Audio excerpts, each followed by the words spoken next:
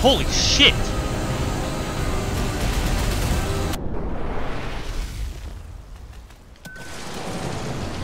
Okay.